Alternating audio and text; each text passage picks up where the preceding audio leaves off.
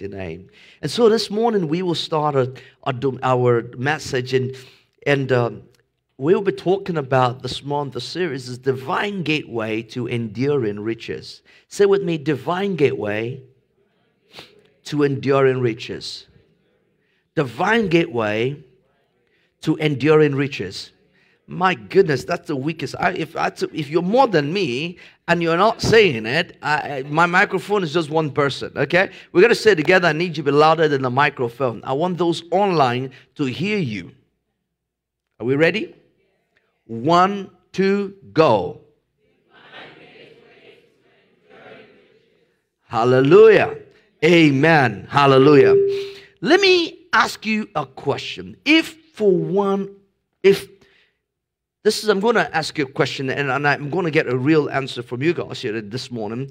Let's assume you were asleep um, and you had a dream, or you were in a moment where you had a dream or a vision, or you were walking, you were driving home and, and, and you just parked and, and saw a vision, or the angel of the Lord came to you and said to you, Listen to this, listen to this. He says to you, Blessing, I will bless you, multiplying, I will multiply your descendants as the stars of the heaven and as the sand which is on the seashore.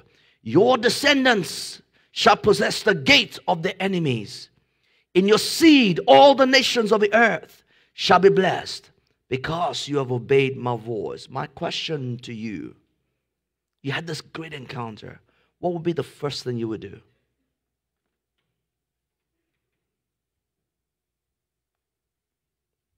Not a trick question. I really am asking a question.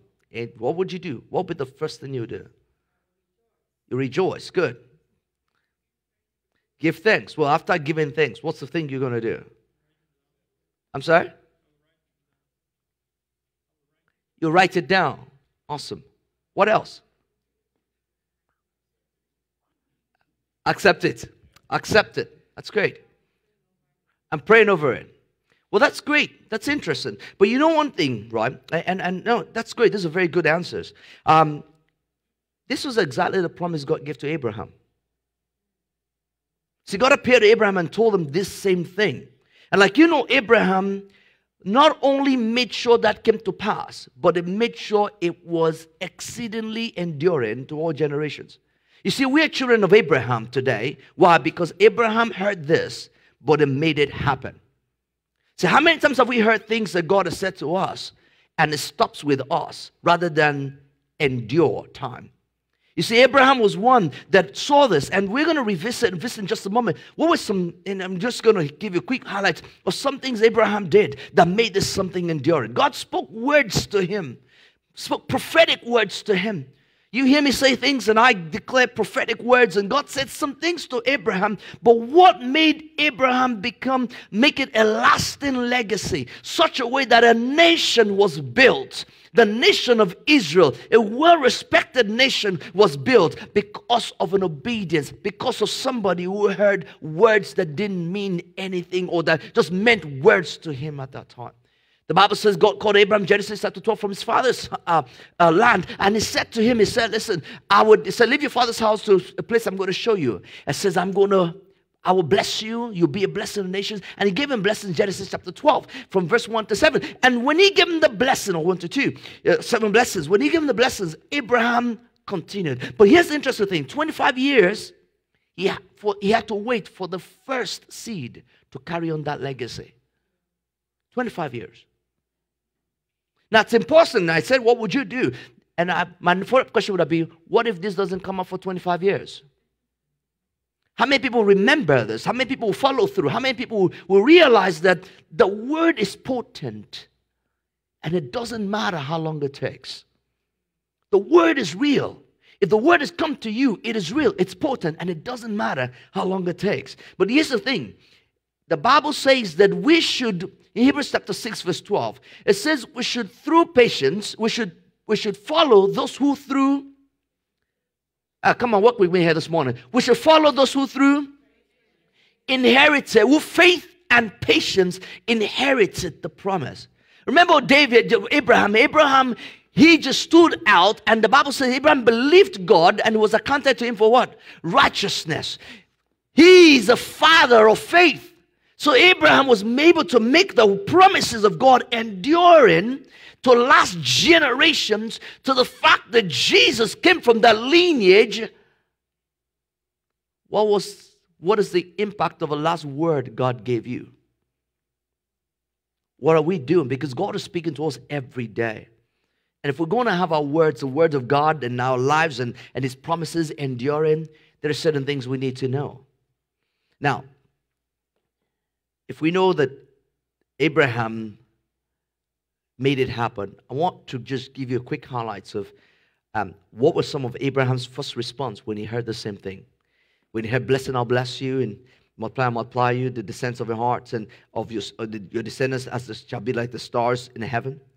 The first thing Abraham did is here's some highlights of some things he did. You see, Abraham became was a, a, a um, became a um, an, an, uh, an unapologetic, obedient person.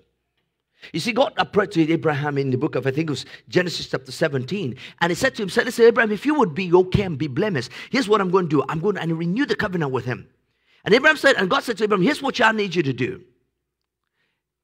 I want you to circumcise your kids and yourself and your family.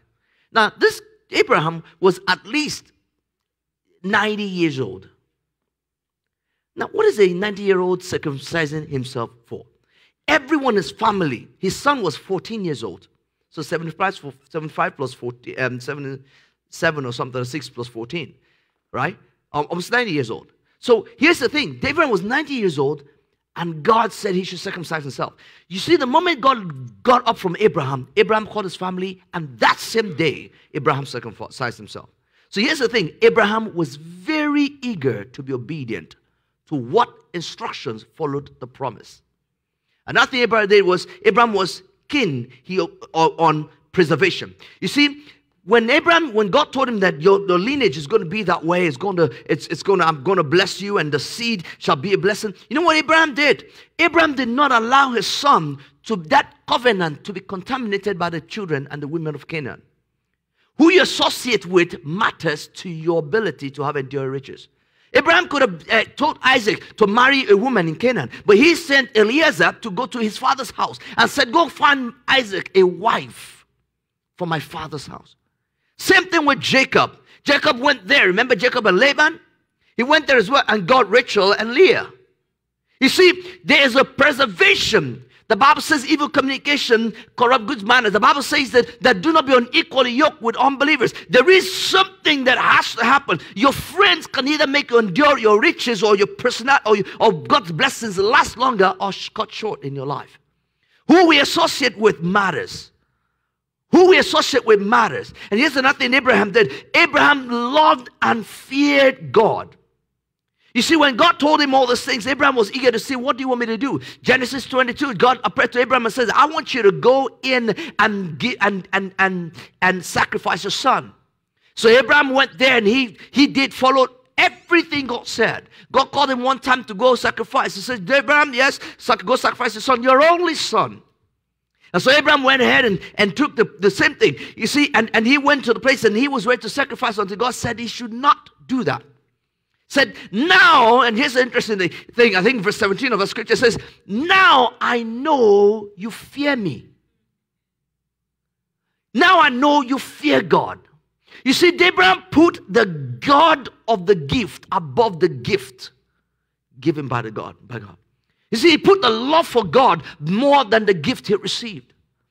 Many of us would trust for God for a job or something or a child or something, and then that is the end of your trusting until the next predicament comes in. You're trusting God for some miracle and you get that miracle. You see, it wasn't hard for God to do it in the first place. Could you have imagined that God was watching your heart in that place while you're still waiting? Because He eventually did it, but was it could it have been that God was watching your heart? Because God said at the beginning, God said, I want to test Abraham. So, in other words, God was looking at Abraham's heart, but he could have done it.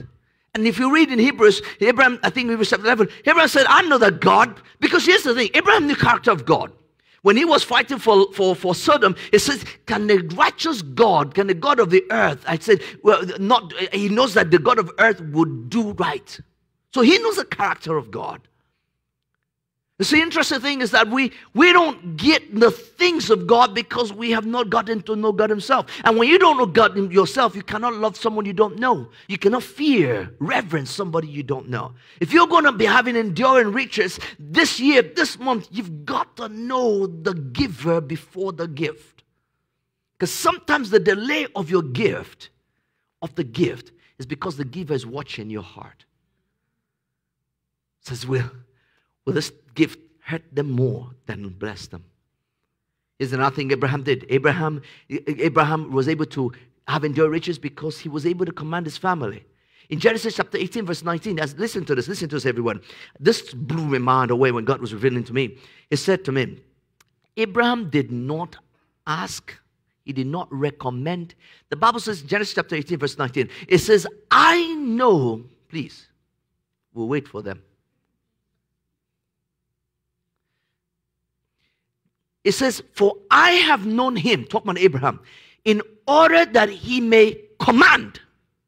You see, he was not asking his children. We are in a nation that we cannot pass on etiquette, um, um, um, the love of God to our children because we're like in the world these days of let them do what they want to do. They have freedom of expression. They feel like a goat today, then let's call them a goat. They feel like a, a, a woman today, let us call him a woman.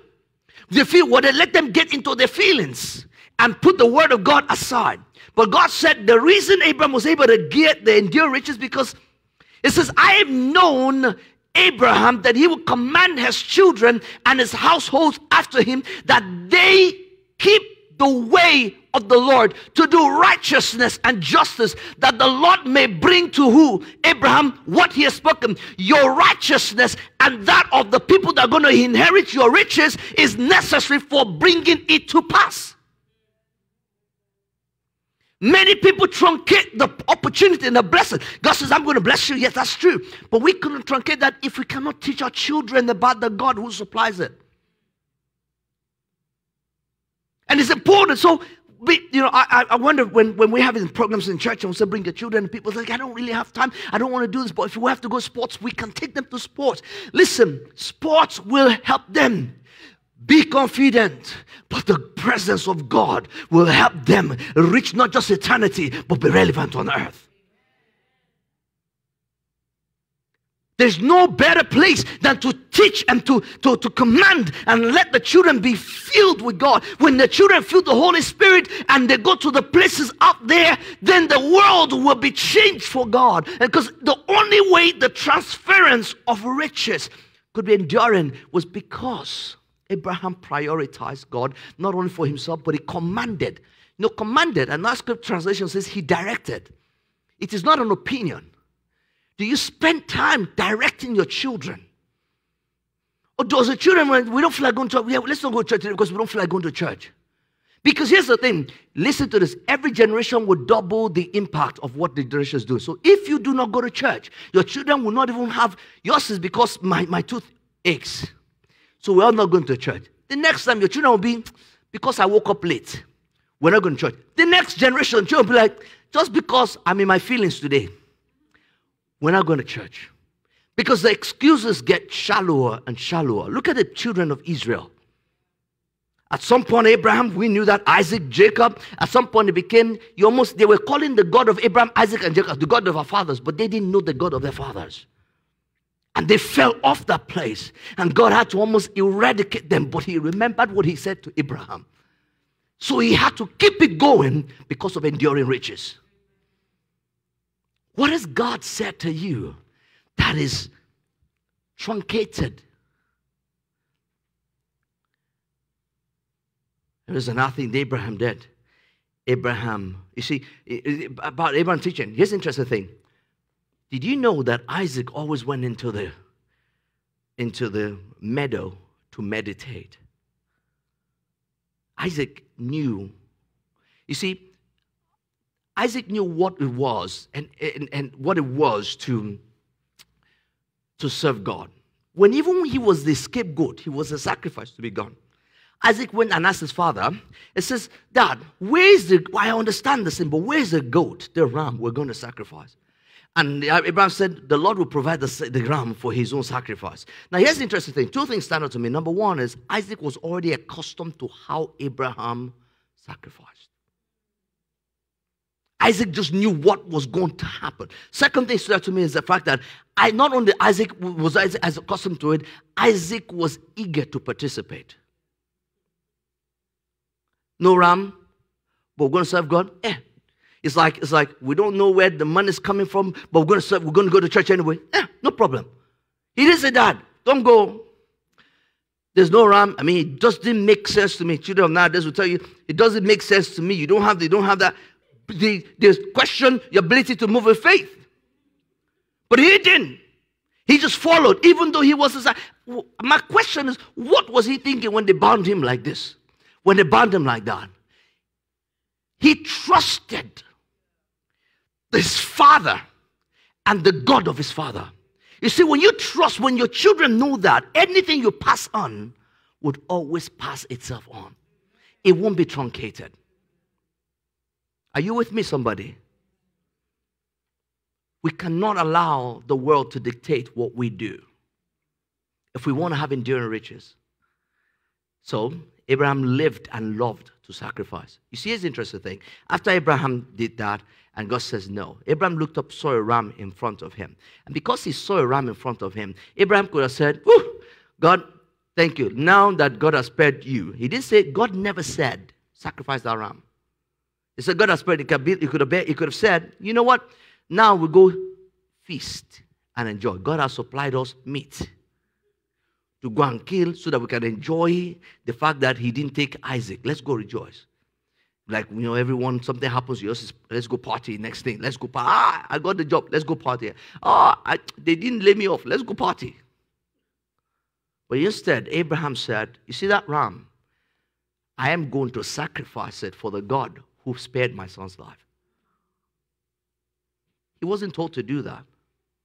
And here's another thing about it is when he sacrificed that ram, that brought another blessing. God looked at him and brought another blessing.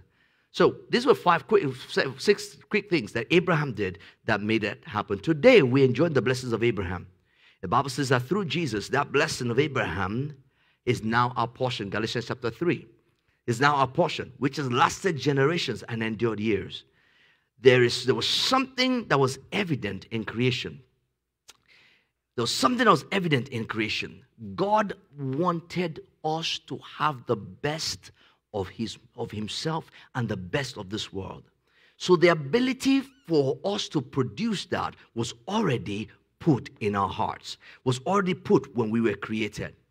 God is interested in giving you and me riches. He's interested in giving us what we desire. You know, in Matthew chapter 7, verse 11, it says that if you who are evil, and don't try to play, claim good. That's why I said nobody should say they're good. It says, You who are evil, if you know how to give good gifts to your children, there is no parent here that is not excited about doing something good for their children. If you're here, then there's a different kind of ministry we need to be working with you on. Meet with me after the service. Okay? There's no parent that does not want to give the best to the children. But the Bible says, if you who are evil know how to, being evil, know how to give good gifts to your children, how much more will your Father in heaven, who is in heaven, give good what? Things to those who ask. God's passion and desire is to be able to give us good things. I say it and I'll say it again every year, every week. I look at it, God refines it for me. The operating system you see, here's interesting. The operating system in us is, the, is blessed. The Bible says, Genesis, I think Genesis chapter 1, Genesis chapter 2, the Bible says, and, and when he created man in me, and the Bible says, and God blessed them. Now watch this. God, he could have, if the word blessing was just enough that was there, that was the end of it. He said, and God blessed them. God blessed them.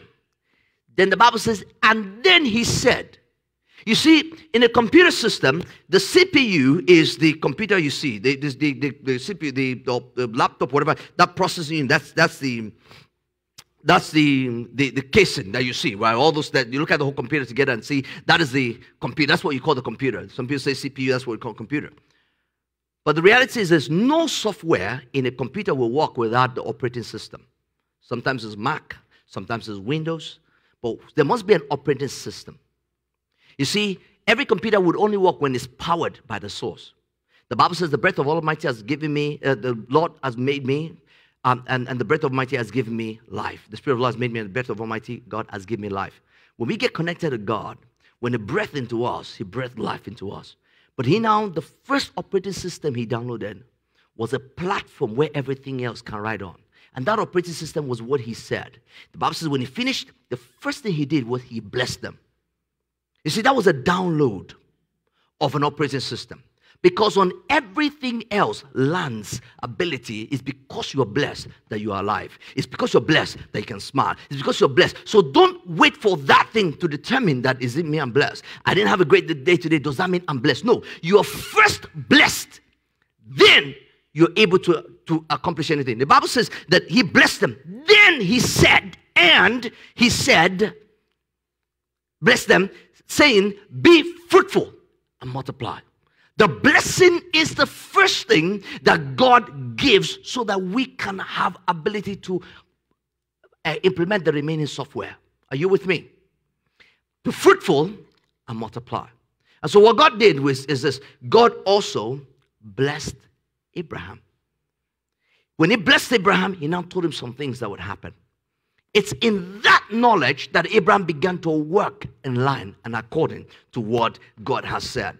God's intention is that you and I will be blessed. God's intention is that you and I will have more than we need. God's intention is that God, it says, it says it's, it's, because He's a rich God, He's eager to give riches to His children. Enduring riches are not given to provide temporary pleasure, bragging rights, but enduring riches are given to have a lasting legacy. In Ecclesiastes chapter 3, verse 14, it says, Whatever the Lord does is forever.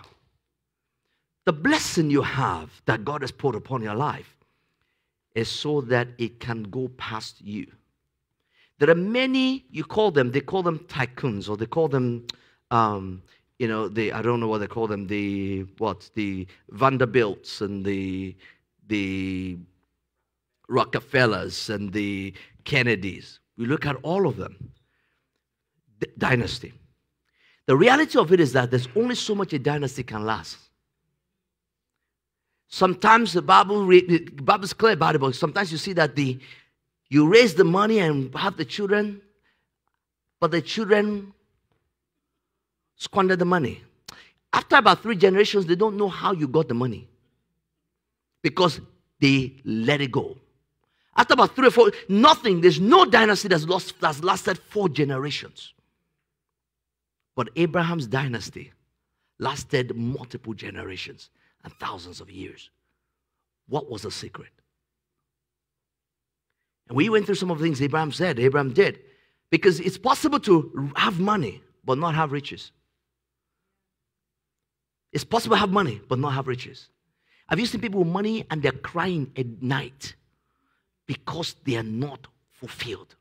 Because they have riches, and they, a friend of mine, after working about so many years, 45 years of his life, he decided to retire. And when he was retiring, he retired with sorrow in his heart. And I said, Why? He said, Listen, I've been battling. My son has been in drugs, in and out of rehab for the last 10 years. He says, I'm retiring, and at some point, I'm about to give up. I could either take my retirement money, all I've saved, and go one last time to help him out of this, that, this situation. Or I could just ignore him and say, I've done my best. Because of his son, he waited much longer to retire. And this guy is a wealthy guy. He's got very wealthy guy. It's possible to have riches, but not be enduring. It's possible to have riches, but not be happy. So riches is not what makes you happy. That's why we don't pursue riches, we pursue enduring riches. Why? Because enduring riches goes beyond the tangibility of what you have. It goes to the fact that how can you keep what you have without losing yourself? Somebody say amen. God's design for, uh, for outstanding riches means that it's got to outlive you. It's got to speak for you after you're gone. Let me tell you two things. Many of us who live to, to, to many of us live to leave a history, or some of us live to leave a legacy. Which one are you going to choose? History will tell people look at you, your children look at you from history and see what they should not do. This is what happened. This is my history. History tells how they got there. Legacy inspires for where they're going next. History tells this is a story about you. Legacy is a is a is a precedence, is a precedence on what needs to be carried on. If you do not think beyond just accumulation, you end up become history. But if you think beyond accumulation, beyond where you think you can get, beyond what you think you can get in this earth, you will see a legacy. If you point to your children that money is not everything, that God is everything, then you're leaving a legacy. If you tell children money is everything, then even at the moment when you realize, when you realize and get old, the money, like Solomon, vanity upon vanity, all is vanity, because you will realize it one day. You will realize it one day. And the sooner you realize it, the better for you because you can then begin to change your ways. Or we can begin to change our ways. But if you one day will realize it and you now want to tell your children, you know, I've been there, I've done that. Money is not everything. They'll look at you and say, Why didn't you do it when you were there? Why didn't you make that decision when you were there? You're not telling money is not everything. Uh-uh. We're not uh-uh. You got one car, I'm getting four. Not because I need it, just because I want to show you that the glory of the latter shall surpass the former. Like Kenneth Hagin would say, that we even quote the scripture to make you feel like, oh, maybe there's the truth in that. But here's the interesting thing legacy means that they cannot move forward without seeing what has been built to that moment. Legacy is what gives a pointer. Yes, some people that realize that, you know what? I have seen what my mom and my dad started. I'm going to take it on to the next place. History is, I've seen what my dad got here. It's good to know their story. Now I go live my own way. Are you living a legacy? Are you writing history? It's because enduring means something handed forward, advanced, something valuable, something that keeps going on. And it's beyond you and I. Because just because we're blessed does not mean the blessing hangs with us. We're blessed is only reason for blessing is so that we ourselves can be a blessing. That's why a receiver, a, that a man that only receives can never be a blessed man. You see, the definition of blessed is not because I received. The definition of blessed is I have enough and I can give more. That is blessed. Blessed is not that I get more. Because when you get when you bless person, when you you all you do is you're getting more, you call that person a um you take more, take more, take more, take more, never give. A reservoir, a parasite, a glutton. Man, you have the names for them. Have you seen somebody that says every time he gives, he gives something out, he gives somebody else? What would you call that person? That's what I thought too because there are not too many of them. We have names for the ones there. But those people are people who are really blessed. Because the reason why God's given us this blessing is so that it can be a blessing. If we don't teach our children what it means to sacrifice to give other people, they think that you're, you're keeping the money for them. So my children came to me and said, um, so you've got, uh, um, what's that thing to school, for school? You've got um, scholarship, not scholarship, what's that thing? College fund for me. I said, or, uh, I said, there are many scholarships. Go and apply. They came back to me one they said, So we need to know, um, are you a mommy millionaires? I said, It doesn't matter what we are. Whatever we earned is our own. If you want to earn your own, go and start working it now and earn your own. You see, otherwise you realize if you don't teach your children that is beyond just what I'm accumulating, you find your children just waiting waiting, waiting till you go, and then you just step right inside the place. And how many generations have wealth that have been truncated because they didn't teach their children, they didn't command their children to, on how to move forward with these things? Somebody say, Amen. May you not labor for other people to, to squander in Jesus' name. Enduring riches is not what we can pursue. Instead, it's a result of who we pursue. You see, the ground that makes any leaves, any leaf or anything fertile and produce fruit It's only the fruit can only get produced as long as the root and the fertile ground continues to remain fertile. If you pursue just the trees and the fruit itself, there's going to be a time when that tree and the fruit will stop whether season or different season. But when you keep feeding the soil, when you keep building up on that, that tree would always produce a fruit. It's one thing God gave me as a revelation. He said to me, He said, any fruit can be doctored, sprayed. I didn't remember, I didn't realize this that apples are actually put in wax to preserve the color so it can be look it can look good wax. If you go scrape it out, you see that there's wax on the apples so it can preserve the colors so it can look good. But you see, when you have a tree, a healthy, good, beautiful, well fertilized apple tree, you don't need the wax. Why? So if you can build the foundation of what makes, what produces the fruit, you realize that the fruit will last long. If you can build, build the foundation of, of what gives riches, you realize the riches will, find, will continue to go. Abraham never forgot the gift, the father who gave him this gift, who gave him the, the riches. That's why it could last long. But when Israel came in, after they went inside people of Israel, God was telling them, You must remember me. You must remember me. You must remember me. Israel was spared because of a covenant with their Father, not because of their own obedience. Because of the covenant.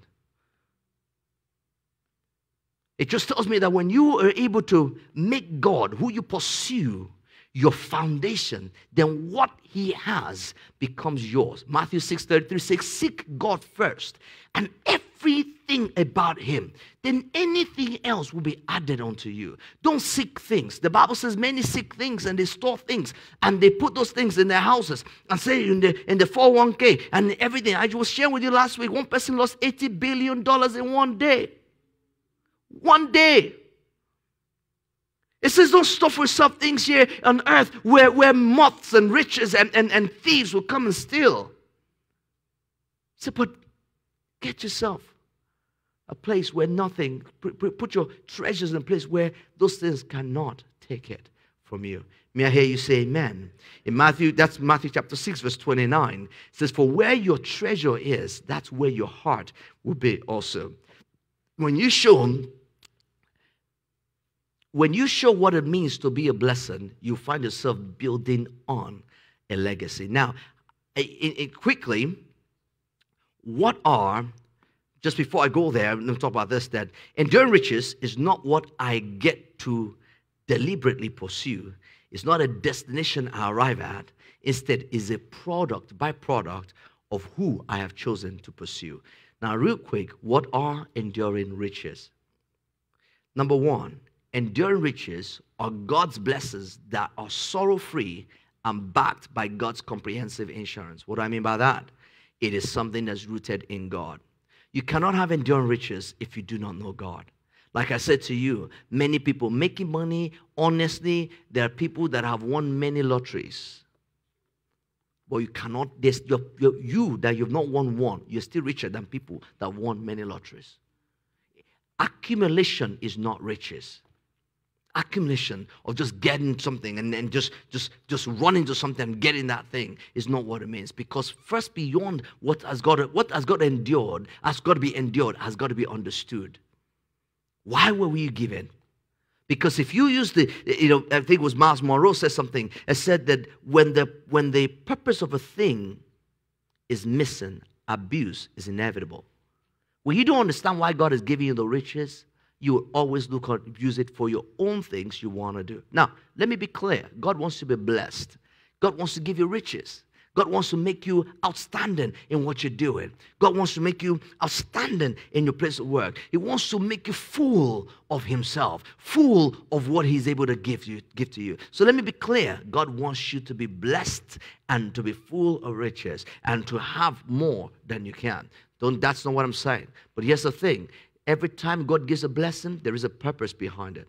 Never just take the blessing and ignore the instruction. Never just take the blessing and involve the and, and, ignore the purpose. There is a purpose. So why you say, Lord, you know, the same thing. Lord, you've given me this money. Lord, you've given me this business. Lord, you've given me this career. Lord, what do you want me to do? How do you want me to influence the world with it? What do you want this impact to make in my children's life? There are many people who chase money so much that they've left the family at home. At home, the children are getting wayward. What is the value of that blessing? When your children, when you come back home and you cannot live, you can, you're not happy because of the state you see your children. So the story about being endured riches. Another thing about this is many people pursue so much riches. Like instead of taking what you have and building on what you have, what happens to many of us is this: we wait for, we look at other people to say that guy is richer than me, so let me do what he's doing. See, that's the story about the parable of talent. You see, God gave the master gave five, then he gave what? Two, then he gave one. Five realized that this is my riches and began to run away with run with it and made more. Two said, This is my I've got to go. One said, I don't even have enough to start with. You see, it's not about what you're starting with here. Because all of us will handle riches. It may not be equal. We'll handle riches. The question is, can your riches be enduring? The one with one handled one. The Bible said, Jesus said, the, the, Jesus said, the master came back and said, even if you had given to the bank, I would have gotten some interest back. In other words, that little thing I gave you could be enduring. It doesn't have to be, you don't have to start with so much more. Start with where you are. Start with what you have. People chase so many things to say, if I can just get that 50,000, I can do that one. You have 5,000. What can you do with them? If you're not a blessed man, if you don't think like a blessed man when you have 2,000, it'll be tough to think like a blessed man when you have 20,000. If you don't pay your tithe when you have $200, you will be difficult to pay your tithe when you have $2 million. Let me tell you the truth. I was telling someone one day, I said, you know, so let's assume I play lottery and I get a million, let's say $400 million. And they came back. And, and do you know what a tithe is on $400 million? Do you know what a tithe is on 400? So let's say they cut it off and they take the taxes and everything. That's at least $160 million. Do you know what a tithe is on $160 million? That is 60 million if you pay net. That is 40 million if you pay gross. Even if you don't know the name of the devil, he will appear to you. Even if you have never signed up with him before, he will appear to you. Ah, what is wrong with you? Are you that? Before, you see, this is easy because we're talking about this really. It's easy to move away from place of blessing to the place of just me. But if you understand that, ah, yesterday I had zero. Today I have 400 million. And the devil's not telling you, ah, are you insane? Who even told you it was God that he even have to get that million? I mean, he will, he will quote the scripture for you. You will be, you, you, you recognize his voice quickly. And that moment, interesting things, the voice of God begins to just be the same way it's always been subtle, smooth, talking to you. My son, my son, my daughter. But the voices will be louder on the other side. Why? Because anyone who's faithful in a little then much more will be given to them. Go with me to the book of Luke, chapter 12, I think verse 14. I think Luke chapter 12, verse 14.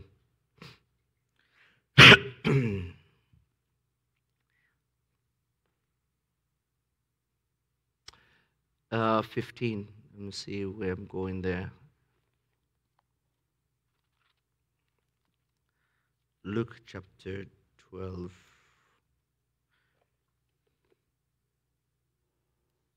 Yes, let's go 15 and then we'll go 16. It says, then, and it says, then he said to them, Take heed and beware of covetousness. For one's life doesn't consist on the abundance of things he accumulates or possesses. Verse 16, it said, then talk about a, a rich fool. Is that the way I'm going? Um,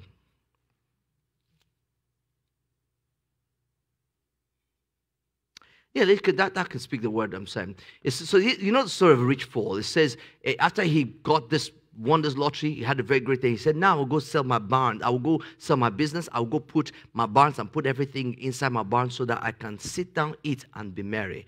And verse 21 of that scripture, I think is it 21 of that scripture? It says that, no, verse 20 says, But God said to him, Fool, this night your soul will be required of you. Those whose then whose will those things be which you have provided? He said, My hand has made this thing.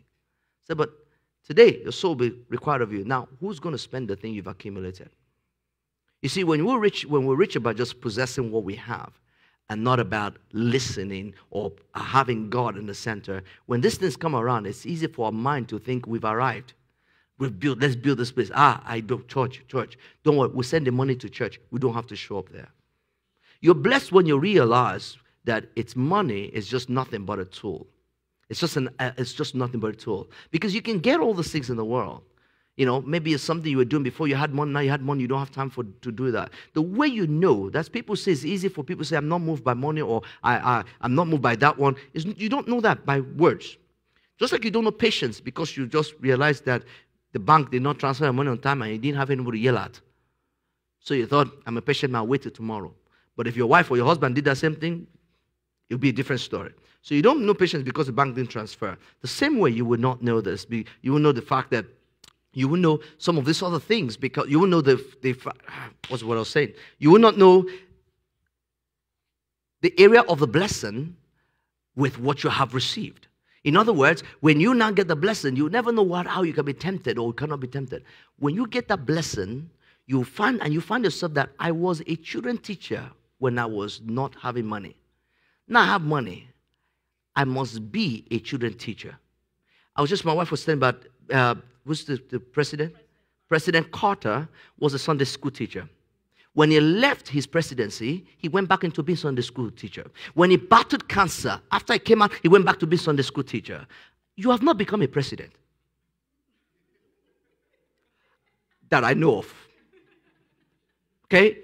Why then is it that positions and, and wealth take us away from what is our ultimate duty as believers?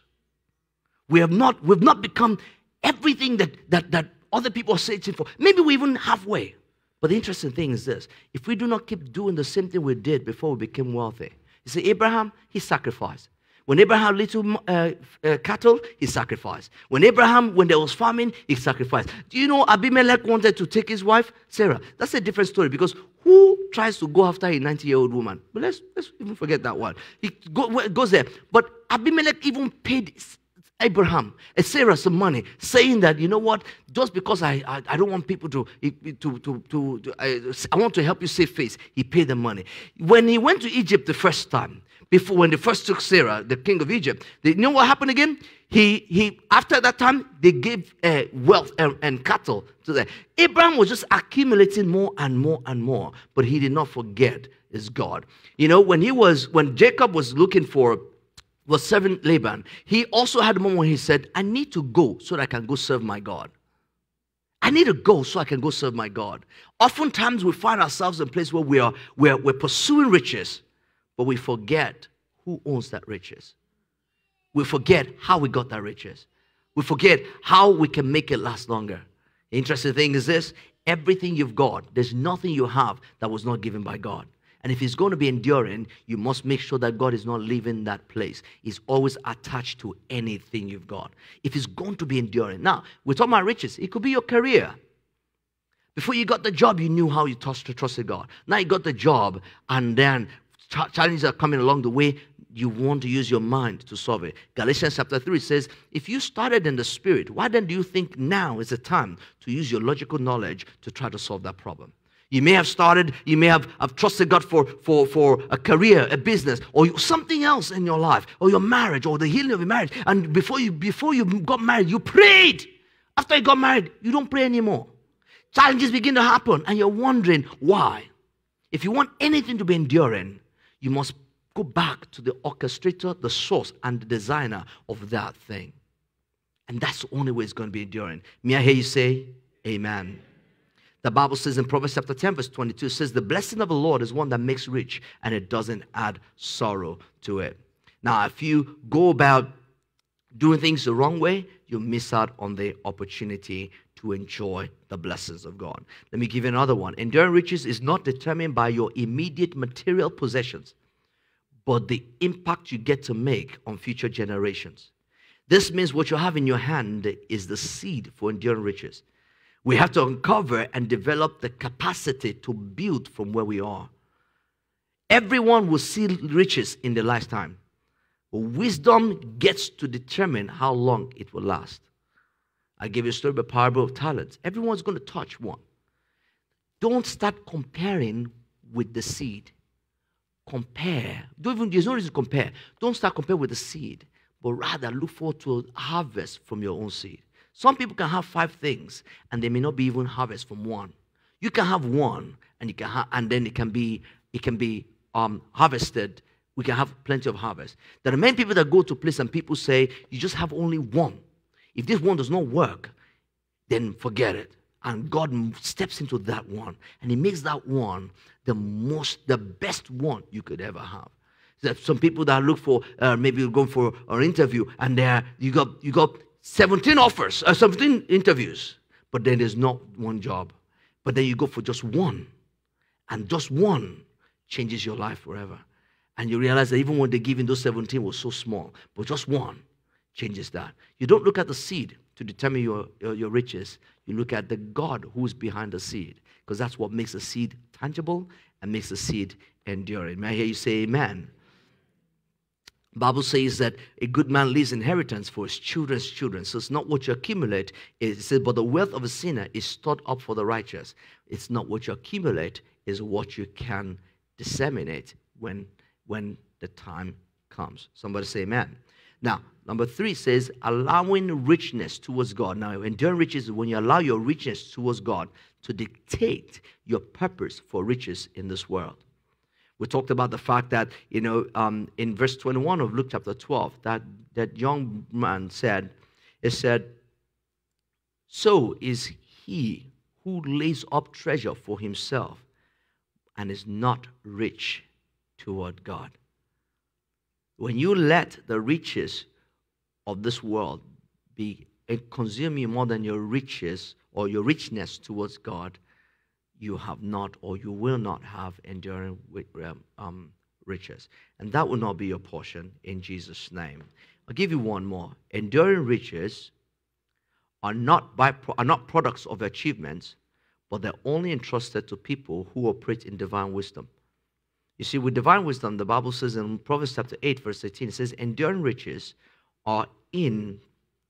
It says, Proverbs chapter 8, verse 17, it says, I love those who love me and those who seek me diligently will find me.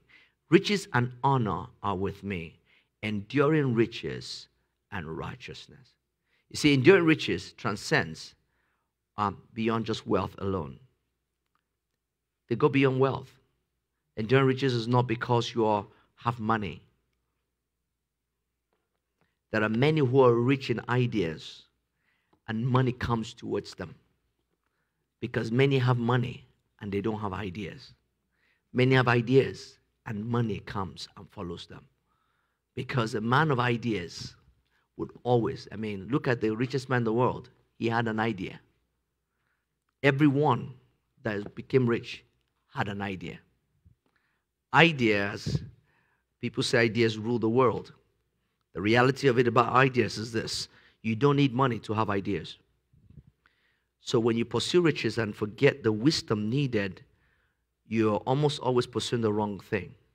Enduring riches is when you put the wisdom of God and the wisdom first, because you'll be able to recognize pockets and places God has designed you to go get the riches from. Because if you just pursue riches, you find yourself compromising and doing things that you should not do. But like we heard in testimony, she decided, I'm not going to compromise there. The God who is able to do will take it further. I don't want anything to taint my testimony. See, if you stand for God that way, then He will show up big. Abraham tried by Ishmael, but he realized that that was not it. God said, That's not it. My promise was to stand. Abraham did not try it again. Okay? He has done it. We've learned from it. Don't be one that God says, I'm going to give something and go try your own way. Don't try it. it, didn't, Ishmael became a, a, a place where Israel was fighting for a long time. Ishmael got some blessings, but was not the blessing. But when the seed came, Ishmael, uh, uh, Isaac got the blessing. Do not give your the blessing of your Isaac to an Ishmael.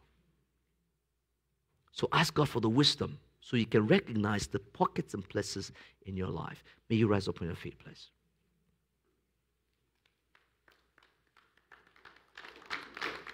Oh. Father, we thank you. I want you to just close your eyes. Now, many of people are here and you know God. You know God very, very well. But I want to give an uh, opportunity to some special people. Some people who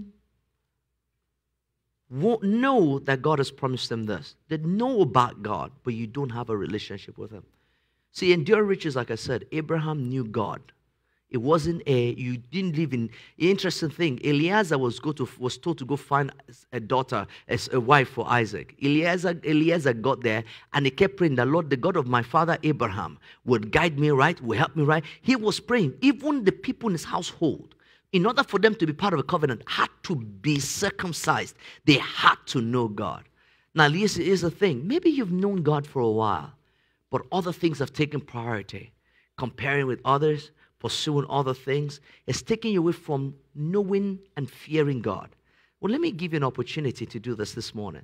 I want to just ask you if you're here and you want to get to know God, you want to fall in love with Him all over again, you want Him to be the center of your life so that you can leave legacy, not history, then I want you to raise your right hand. I will be willing to pray with you today. Anybody in here? Or maybe you may be online. Anybody in here? Hallelujah. You want to get to know God. I want to invite you home. Or you've been knowing God and you stepped away from the presence. Anybody? Hallelujah. Father, I thank you and I give you the glory. Lift up your hands and say, Father, I thank you. I worship you. Say, Father, Lord God, I receive your wisdom to make the right decision. And receive, receive wisdom towards riches so that I will know what to do when you start to bless me. I want us to pray the Father, Lord God, give me the courage. I will not be moved by this world. I will teach my children to, uh, to command my children to follow you because that is the recipe for enduring riches. And so shall it be in Jesus' name.